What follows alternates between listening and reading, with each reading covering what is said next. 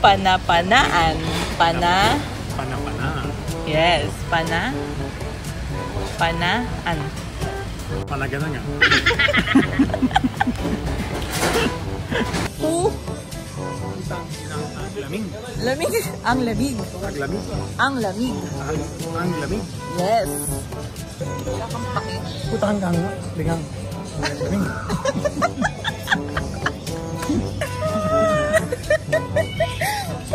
Mo. Putang ina ang lamig. Putang ina ang lamig. Travel pa more.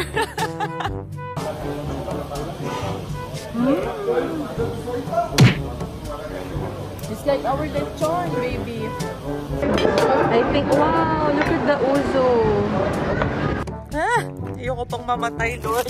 Madami pa akong plano sa buhay. Pahinante na ako, guys. Hindi ko na-videohan, pero nag, ano ako, nag ganon, ganon, signal, signal. You got the summertime love. I work for your heart all night to the dawn. You stay when they switched up. I know you're the one. They go and they come. You like the summer breeze like a getaway. It's you and me. You like So we went summertime na love. Sobrang dami tao. Hindi siya crowded. Corona is waving.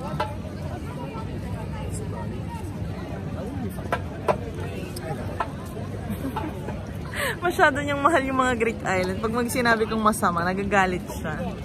Baby! Baby!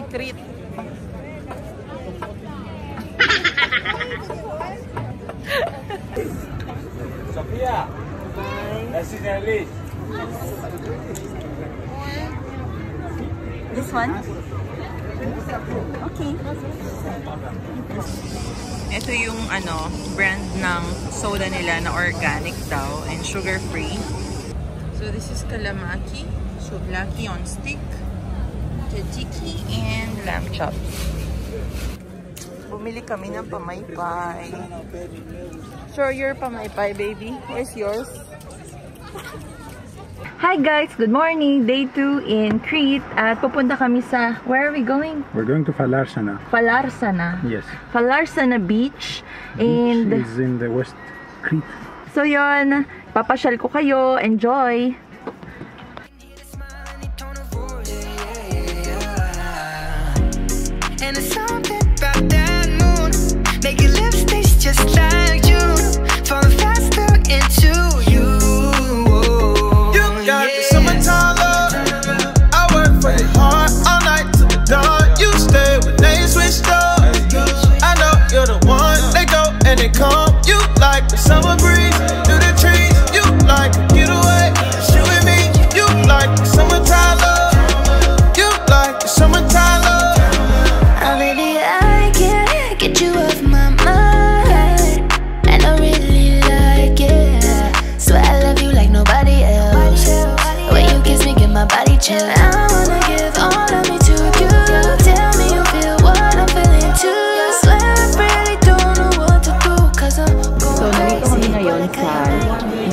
Kapi, Kapitan Nicolas, right?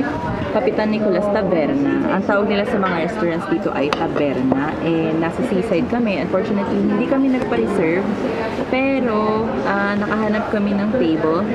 Ang ganda ng mga tables dito kasi katabi talaga siya ng dagat. Tapos, mapapanood mo yung sunset. Tapos, ang fresh ng hangin. Tapos, balita ko, fresh din yung mga pagkain dito kasi sila yung nag-harvest first thing in the morning. Tapos, niluluto nila buong maghapon.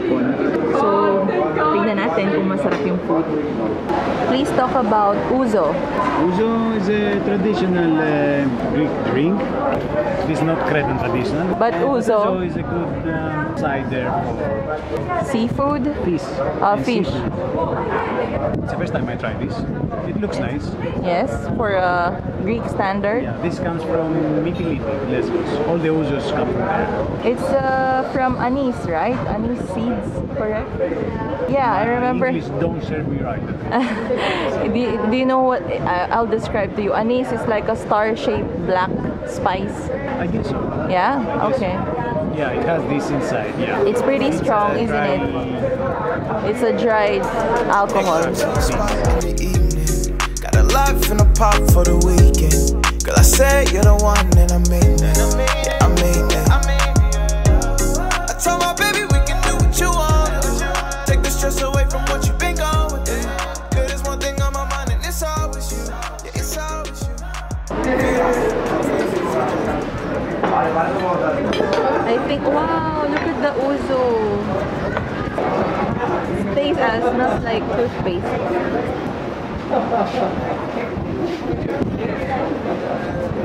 So strong. Mm. The octopus is amazing. There's also rubber. Yeah. Sarap, grabe. Και μια, μια μαντάρια και μια κολεφτάκια. Ναι, μέσα βέβαια. Ganda. Basta na ito. Αυτά και μας λέγουν. Ευχαριστώ πολύ. Ito yung isa sa mga pinaka-favorite ko na Greek food, which is grilled octopus kasi nung first time ko siyang matikman sa Santorini, grabe, sumabog yung ulo ko, sobrang sarap. Kasi hindi ko makalimutan, paulit-ulit ko siyang kinakain. Like, 4 days kami sa Santorini, tapos ito lang yung kinakain ko. So, meron siyang, it's with vinegar and olive oil, or it's just olive oil and oregano on top. Vinegar olive oil. vinegar, olive oil, and sprinkled with oregano. And of course, calamari. Also one of my favorites. Siguro top 1 yung octopus, tapos pangalawa tong calamares. Oh my god. Sarap. Mm.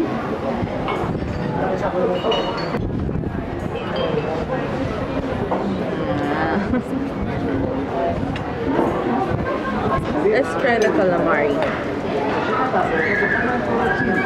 Oh my god. Amazing.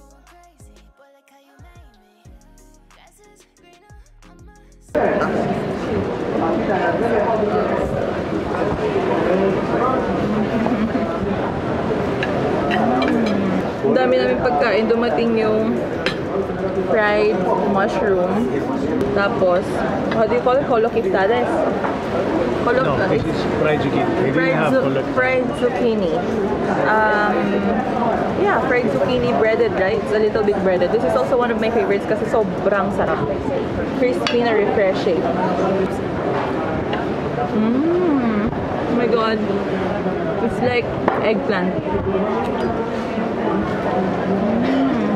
Did you prefer eggplant? They had also it's a bit dry. What do you mean? I mean that it's not so juicy. But it is when you Baby, this is so good. is it? It's the first Still time I see hot. fried okay. Wow. It's really good, right? God damn. God damn. Cheers. Oh, oh I love miso with seafood.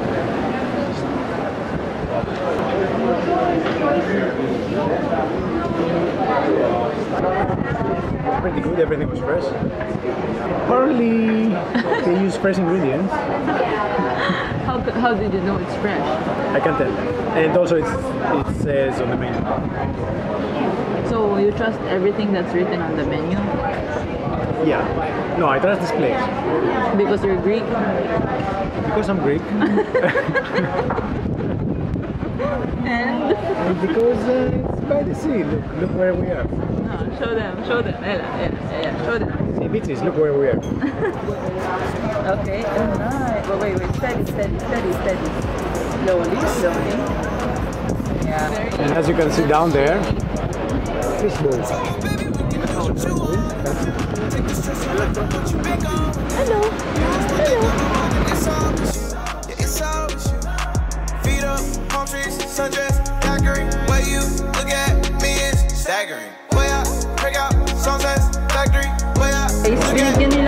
Ng dessert. Binigyan kami ng grapes and raki. Itong raki, sobrang lakas nitong alak na sobrang pait. Medyo lasing na ako kasi isang bote ng wine ako lang yung uminom. So, tignan natin. Sige, try lang natin. Cute nila kasi may freebie pa sila. Tapos, grapes. Okay, let's try. Konti lang. Kasi na-try ko na to dati. Sobrang lakas. Sa Greek, ang tagay nila ay Yama. So, Yamas.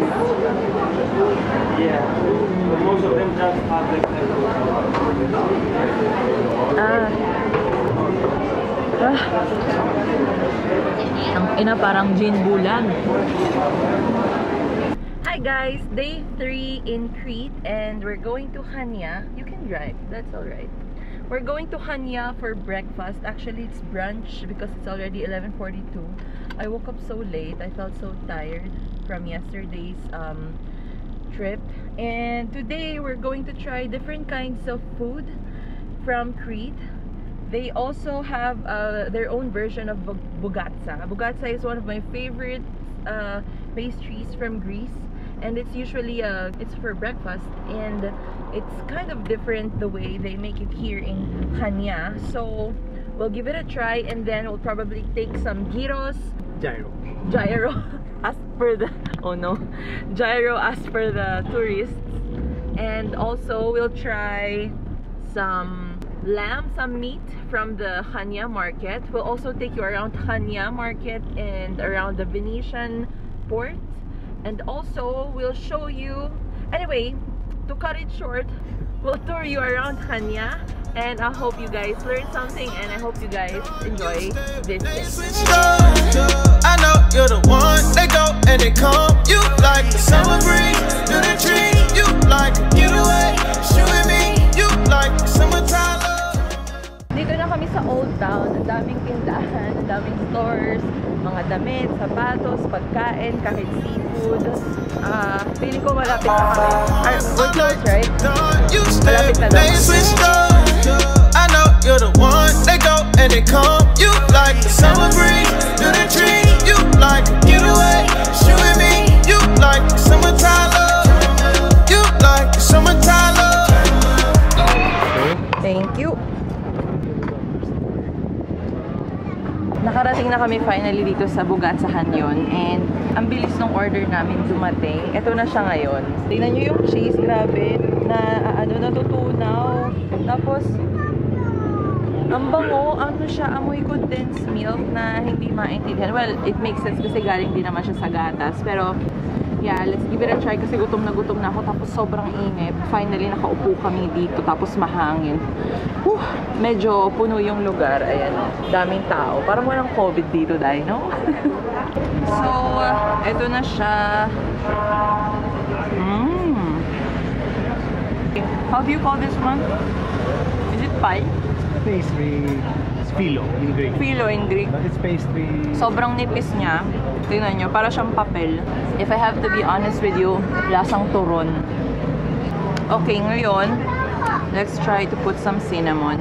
Just a little. Yeah. And then some sugar. Fine sugar. Oh, no, it's not fine. What cheese is this? Hanapin mo? I'd say it's goat cheese. Mm. So, ang gastos ay yan, 3 euros each lang. Mura lang siya actually. Hindi na masama. May kasama pang tubig, o 'di ba?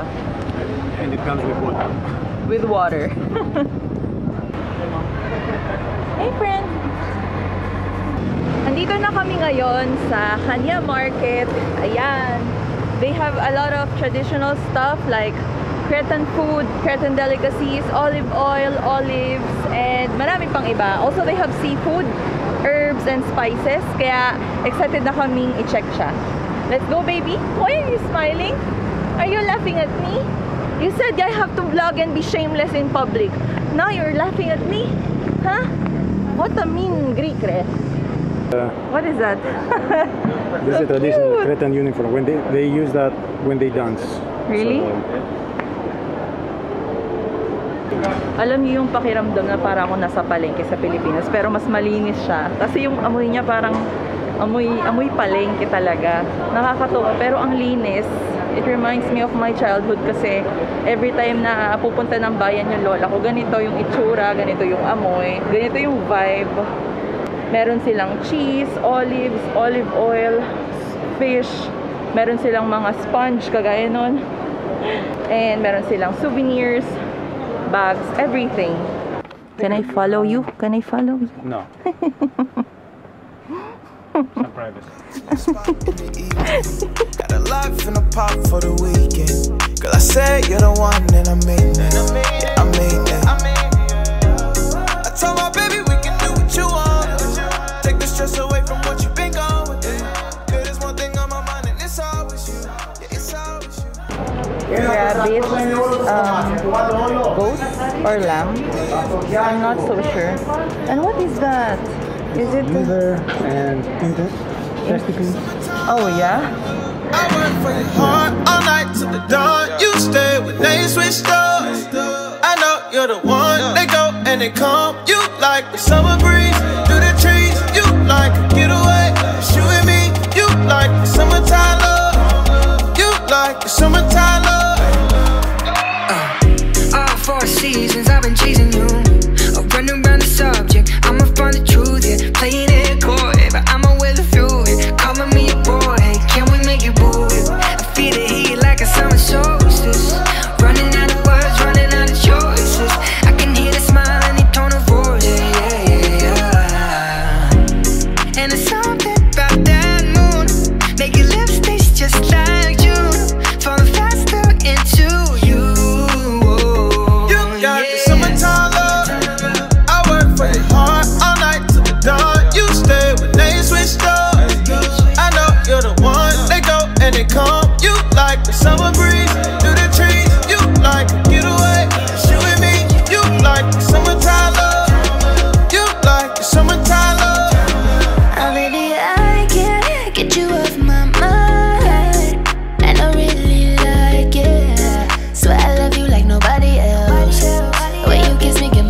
Chill. I wanna give all of me to you.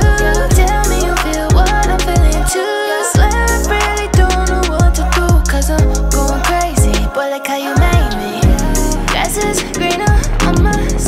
We are on our way to the lighthouse. Nandito kami ngayon sa, where are we? In the Venetian port. Is that correct? The old port of Hania. Actually, it's the most famous spot And it has a lot of restaurants and cafes. Anything that you can find right there is either a souvenir shop, a coffee shop, or a restaurant of different kinds. But so, if you come here, just avoid the main places along the marina. It's because better to go. yeah especially now it's covid it's, Yeah, it gets okay. really crowded at night and i wouldn't suggest you to come here at night there are way better restaurants in the alleys over there like what we just visited.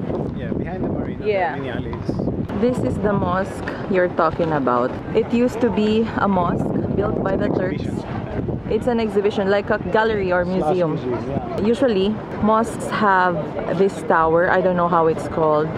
But this one doesn't have because it was destroyed during the war. Is it during the war? The tower, yeah. yeah. The world Got a World War II. I said you're the one, and I mean it. Yeah, I mean it. I told my baby we can do what you want. Take the stress away from what you've been going through.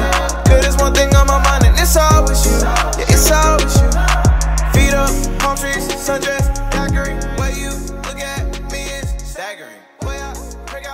morning guys! Day 3 in Crete and today pupunta kami sa iba't ibang villages na hindi binibisita ng mga turista. So nagtanong-tanong si George sa mga locals dito kung ano ba yung mga villages na sobrang underrated at hindi masyadong crowded. So we're going to Vamos and Sfakia village na excited akong puntahan kasi nakita ko yung mga pictures sa internet. Ang ganda talaga. Para siyang ano, um, very ancient. And yung isa sa mga villages na yon na hindi daw nasakop ng mga Turks noong unang panahon. So, let's see how it is. Siguro, ano siya, very traditional, very Greek. Kaya, excited akong dalhin kayo doon. So, see you later!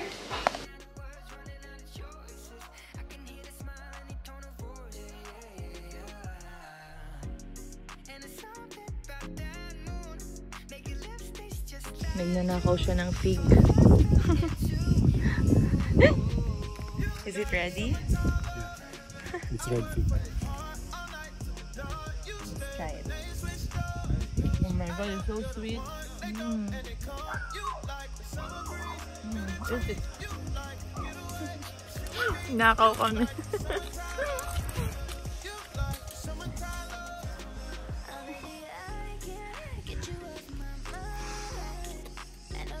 How is it?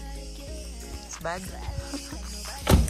So far, gusto ko tong village na to, pero hindi siya ganun ka-special. Wala namang something special. Para lang siyang ano, normal na Greek village sa isang island.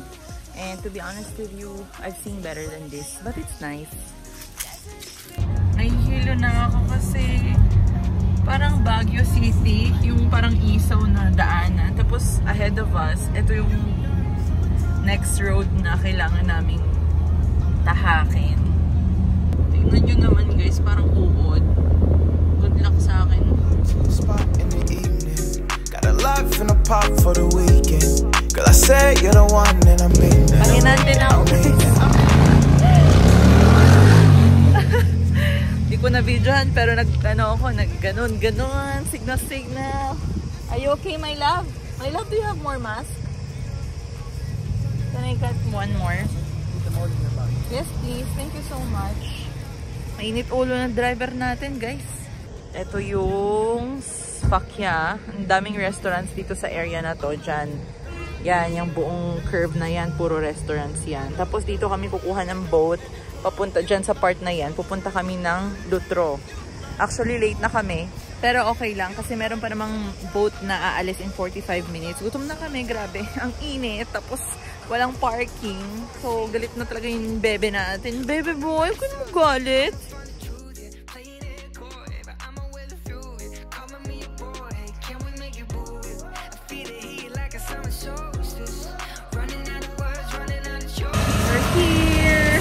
Lutro.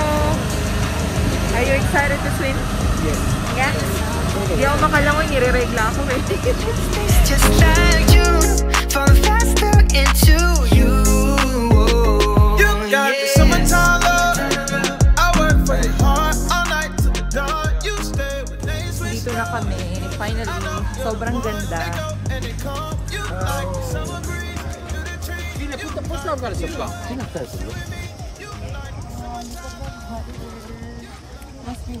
Kain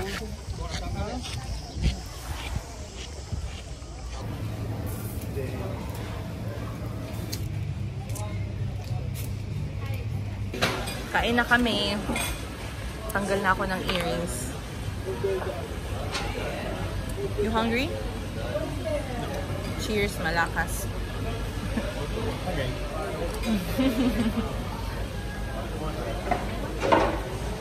Yung dagat.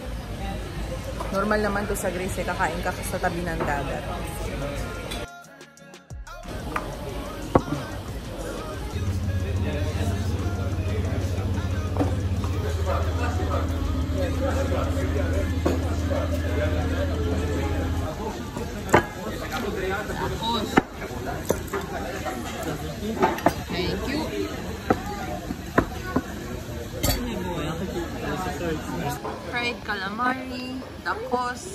Think alam niyo na yan by now. And tzatziki, yogurt with cucumber, olive oil, salt, vinegar, and uh, what else? Pepper? Is there pepper in tzatziki? No pepper.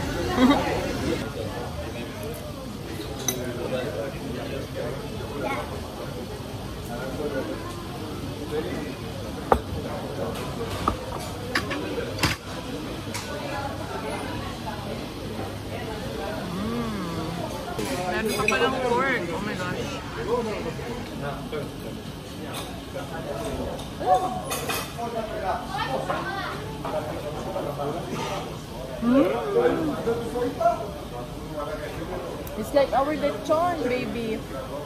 Because it's slow cooked in fire, right? It's the same as lechon. Mm. Oh my god. Mm, so good. Mm, sarap. Okay, let's try with the tzatziki.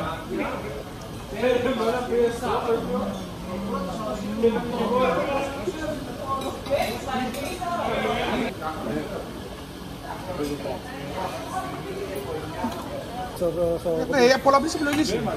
Πολλά πίσω επιλογής και, και προφορικά κάποια μάλλον. okay. Pana-panaan. Pana. Pana-pana. Yes. Pana. Panaan. Panan. Faster. Panan. Pana-panaan. Panaganangan. Katapos lang namin kumain, um, busog na busog kami. Wala kaming dalang swimsuit tsaka towel, kaya magdidip na lang kami ng paa sa tubig. Kasi nakalimutan ko magdala ng tuwalya at swim- swimsuit. Tapos meron din ako ngayon, kaya hindi carry. Bait naman ng bebe na yon Di rin lalangoy kung di ako lalangoy. Bait ng bebe na yan. Hmm, gigil ako. Again, again, again. Practice your Tagalog. Po. Utang inang ang lamig. Lamig. Ang lamig. Ang lamig. Ang lamig. Ang, ang lamig. Yes. May pantit bra pa. Ay, swimsuit pala yan. Putang ina, ang lamig. Kakampaki. Putahan ka nga. Bigang. Lamig.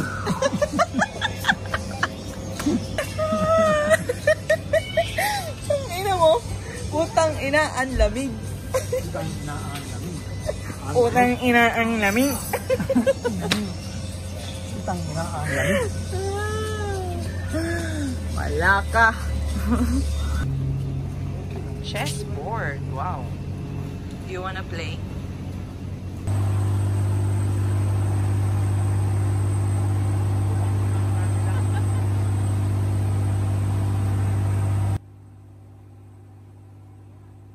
Good morning guys! Today pupunta kami sa isang not so secret beach.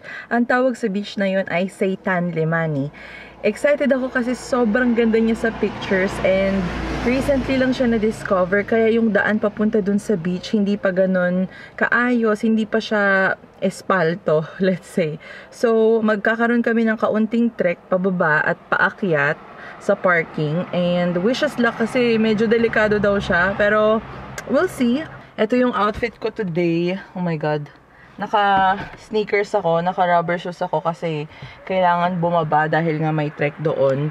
And ang aga namin gumising kasi gusto namin wala pang tao dun syempre para makapag-picture tsaka ma-enjoy yung beach kasi sobrang liit lang ng beach na yon. Makikita nyo siya in 3, 2, 1. Sobrang taas niya. As in, nakakatakot. Ang ina guys, may fear of heights ako. Hindi ko alam kung kakayanin ko to. Natatakot talaga ako. Wait. Oh my God. How is it?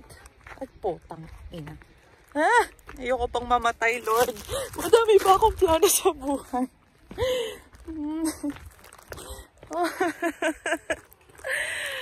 Ah, travel pa more. Magpo-photoshoot muna ako de, bilang bida-bida ako, di ba? gusto, ko to. Wow, putang ina guys. Sobrang steep. Girl, I said you're the one, and I mean that. I mean that. I told my baby we can do what you want. Take the stress away from what you've been going through. Girl, there's one thing on my mind, and it's always you. Yeah, it's always So, galing kami doon sa kabila. Sobrang steep ng mga daan doon. Puro bangin. So, dito sa kanan, may nakita kaming daan. Kasi lahat ng tao dito dumadaan. So, try natin. Takot talaga ako. Nanginginig yung mga binti ko. Grabe. Gusto nyo yun? Pakalangoy lang. Susuburin ng lahat. You okay? Okay, I'm okay. Bait ni George. Ayaw niya akong pagbuhati ng bag. Are you sure you don't wanna give it to me? Gan talaga. Pag ayaw. Gusto ko to eh. Kaya ata, ay, I think the reason why it's called Devil's Harbor is because it's a fucking devil. The hike is a devil. Oh. Whew. Whew. Nakarating din kami sa baba. Grabe.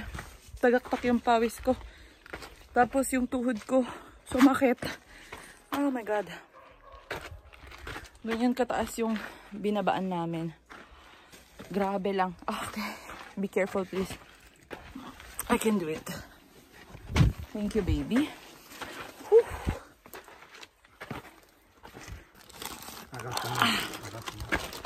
Mo. I'm okay. Ako ng bagang puta. Pagbitbitin. You got love. I work all night to the dawn. You stay. I know you're the one. They go and they come.